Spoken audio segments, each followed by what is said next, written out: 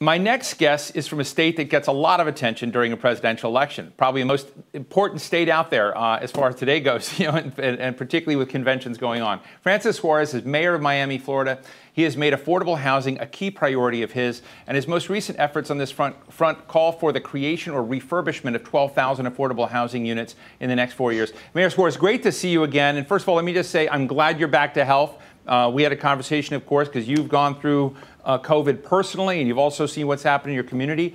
Let me, uh, you know, I, I was just, you know, we've talked before, but I just want to say, I was reading up on the things that you've been doing, not only refurbishing houses, but you were involved with passing reverse red line legislation that was designed to undo some of the bad decisions that have been tied to systemic racism and divide and division.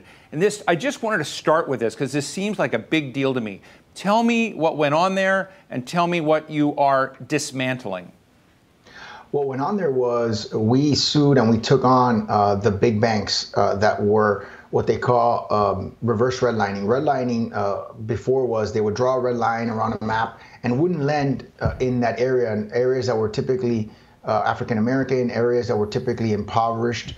Um, and now what we were seeing um, in the last mortgage crisis was what we what we call and what became known as reverse redlining, which was essentially that they were lending in those areas, but they were lending on more onerous terms uh, to minorities than to non-minorities, and it was very easy to detect because you could uh, compare credit profiles, you can compare income. I mean, these were all objective measurements, and so that uh, case went all the way to the U.S. Supreme Court, and uh, the U.S. Supreme Court held that we could, in fact, sue uh, the the big banks, and so uh, the objective there was to make sure that uh, you know discriminatory lending practices are not something that continue to perpetuate uh, racism in our community, and particularly um, when it comes to uh, you know financial uh, decisions such as buying a home, which is in many cases the most expensive, the single largest purchase that anybody makes, and it has to be done in an equitable fashion if we want to have an equitable city. Mayor, what are the building blocks as you see it today as you deal with um, you know, some of the hits that your community has taken, both economically and through health? How do you keep the affordable housing picture in it, given I'm sure you know your your uh, revenues have had a tough time, but you know I'm just interested in what that map looks like of how you take care of the most vulnerable communities, the people that need housing, keep that in the picture while you have lots of other challenges happening. It's definitely difficult. Uh, without a doubt, we've been hit uh, very hard, uh, like many cities throughout the country. We had a surplus going into COVID and now have a $25 million deficit for this year and a $30 million deficit for next year. So we're hoping that Congress acts uh, to help cities and to help its residents. Uh, in, in, addition to that, uh, we're blessed to have a general obligation bond, which was called Miami Forever.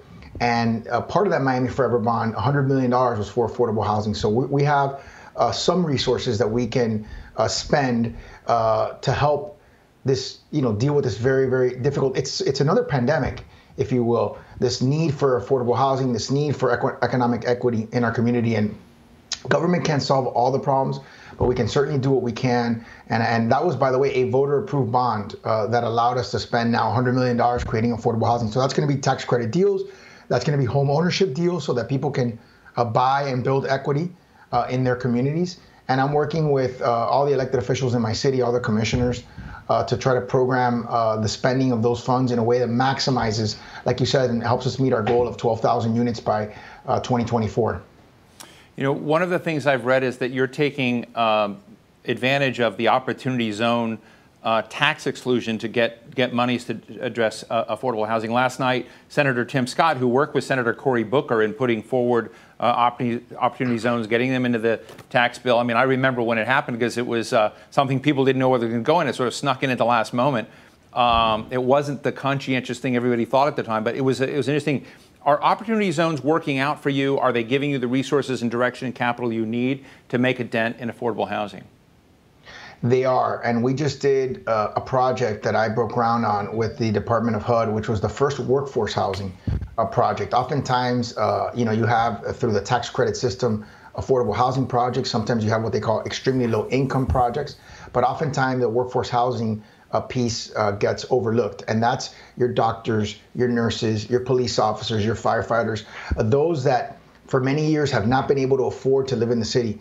And thanks to the Department of HUD and thanks to opportunity zones and the leverage that it creates, we were able to put together a deal uh, where the Department of, of Housing and Urban Development lent about uh, 60 million out of a 70 million dollar project uh, so that we could create that kind of workforce housing in an area where there is basically only at market or affluent uh, people living, which is uh, the Omni area of our downtown. And so we now have the ability to attract uh, the working class in our community that deserves to uh, work and live uh, close to each other uh, like they haven't been able to do, unfortunately, for several decades.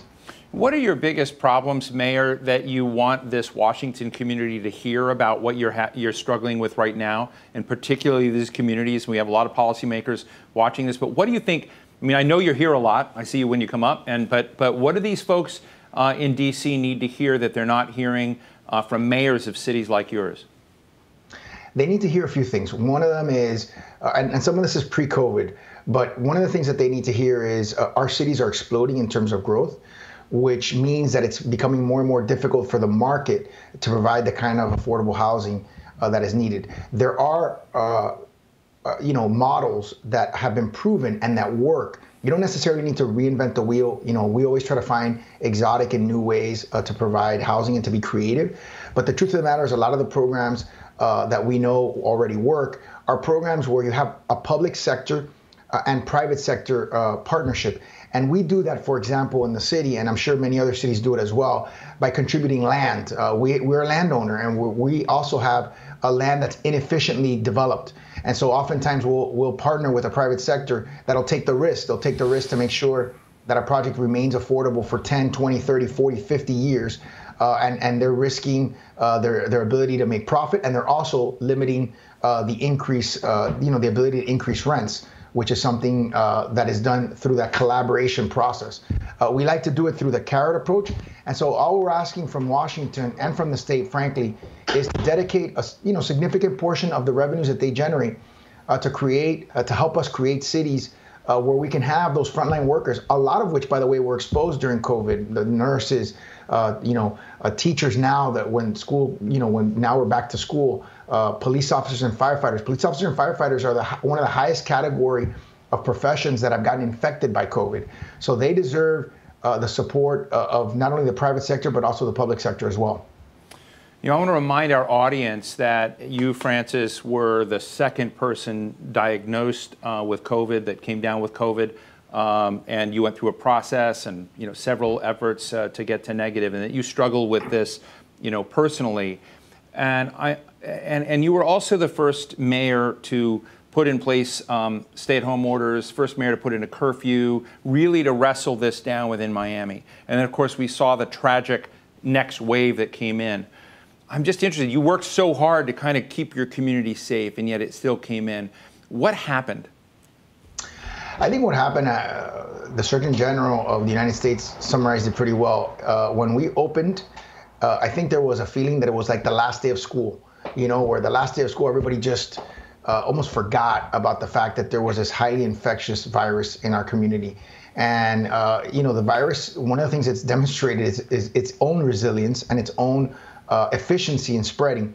And so, you know, I was also in the second wave, the first city to implement a mask in public rule. And that mask in public rule is what now uh, has brought us down to levels uh, just the other day, uh, the day before yesterday, we're at 500 uh, new cases per day, which which is something we haven't seen since April. So uh, we were at 3,500 new cases a day for for a while. Um, so that's about one seventh, you know, what we were at our high point. So you know, you have to make tough decisions.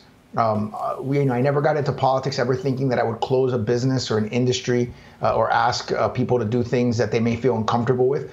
But the fact of the matter is, uh, when the health and safety of your residents are at risk, you have to make dif- difficult leadership decisions. Um, you know, keeping in mind and understanding that you're saving lives in the, at the you know at the end of the day. You know, we heard. I asked Mayor uh, Giles of Mesa, Arizona, uh, this question. Um, because I think you hear different you hear different currents. And I've been watching. We watched the the convention last night and heard uh, folks saying, "Hey, we're against zoning changes of sing, single family homes." And just raised the question of, you know, in Miami, is there you know, when, when you make the moves on affordable housing, when you make the moves to support those in need, is that a point of pride? Is that something folks are ashamed of or want to keep distance? How do you kind of build it in? Because I, I, see it as a part of a healthy community, but I know that there's that's not shared uh, uh, across the board. How, I mean, I'm, we've known each other. How do you shape it so that those people that are um, need affordable housing, that need rental assistance, that need uh, helping hand at this time, where it's not uh, tainted with, with, with some sort of stain? It's it's tough at times, uh, and and sometimes you'll get people, and this is I find it a little bit funny, not funny, but somewhat tragic in in a way when someone will tell me we do an affordable housing project, and it's a beautiful project because the projects that we do now are in collaboration with the private sector, and so they're done as if as if they were luxury condos. And somebody will say, "Well, I don't want to live. I want to. I want to. I want affordable housing, but I don't want to live in that neighborhood." And and that's sad. You know, it saddens me because uh, you know, getting the, you know, there's so much demand for affordable housing and there's so few supply that when somebody gets it, they ought to feel like, you know, they were very fortunate and, and that they're getting something that not too many people have.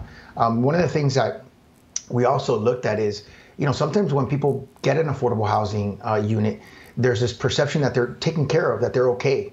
And one of the things that we realized is that elderly people who are living on fixed income were not okay um, because uh, within the covenants of some of these develop, uh, you know, developments, developers were able to raise uh, the rents. You know, they were still, you know, according to the area median income, they were still affordable, but uh, they were able to raise them by more than what the Social Security, uh, you know, uh, monies that were being received by the elderly were increasing, mm. actually substantially more. So we had to create another program to help uh, elderly in our community uh, with a rental assistance program that helped bridge that gap. So I think, you know, in, in our community, uh, when people are suffering, uh, they're not shy about asking for help. They're not shy about applying for help. I'm just I'm just saddened by the fact that sometimes we just don't have enough supply to meet the demand.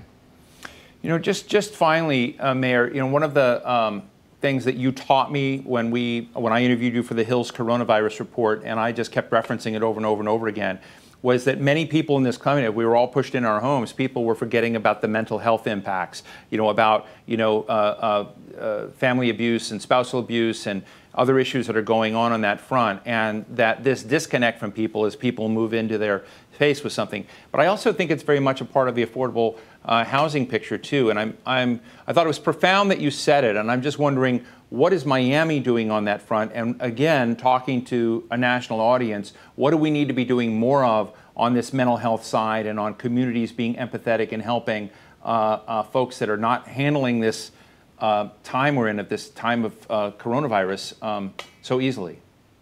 This has been an incredibly challenging time. You know, uh, things that uh, have, you know, since systemic racism and, and what how it's inordinately affected certain populations uh, with COVID, this has been like ripping off the band-aid and, and really exposing how vulnerable uh, certain people are in our community. And as you said, you know, one of the things that we saw was our reporting on domestic violence went down.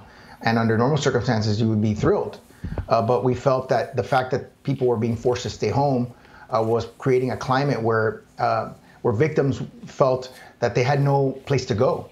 And so I think, you know, we're urging people to please reach out and please uh, ask for resources. We do have uh, some federal funding uh, that we've received uh, at the county level, um, and we can urge our county officials to help us combat this problem, which is a problem that gets exacerbated when people are stressed out about not being able to find work, about all the different restrictions and their inability to provide for their families. I mean, that's an incredible amount of stress under normal circumstances. And under circumstances like this, where you're seeing record levels of unemployment, uh, it just gets uh, multiplied.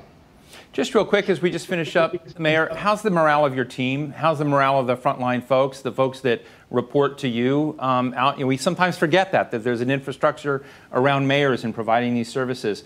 Are they upbeat about the future? Are they downbeat about the times? Stressed out beyond belief? Where, where are they?